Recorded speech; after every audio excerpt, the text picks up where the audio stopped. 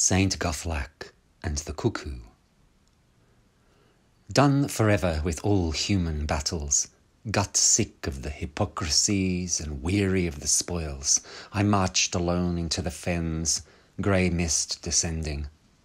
Sometimes I blundered waist deep in oozing sphagnum, retraced steps, clambered along nets of willow roots, made it again to firmer ground. But at the end, all solidity gave way to water, and there a leaking hollow boat knitted out of hazel twigs awaited.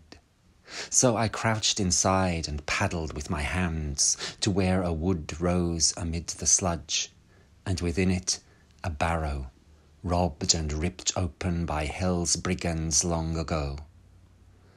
I dug out leaf mould from the cist lined it snugly with leaves of ferns, and lived there under a brown thatch of reed mace until my beard became a bird's nest.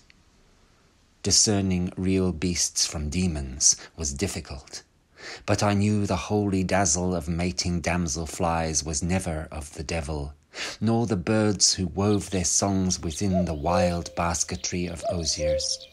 And every year he came to me the kind cuckoo, his crop abulge with caterpillars, calling in the spring, his sharp flight hawk like, his tail white spotted, his tight eye gilded, his long breast scalloped as a goshawk's, Crowland's height, depth, and all dimensions, resonant with bright inhuman glory, and the eon long monotony of his love song's hollow nodding lulling me to dreams or heaven's realm.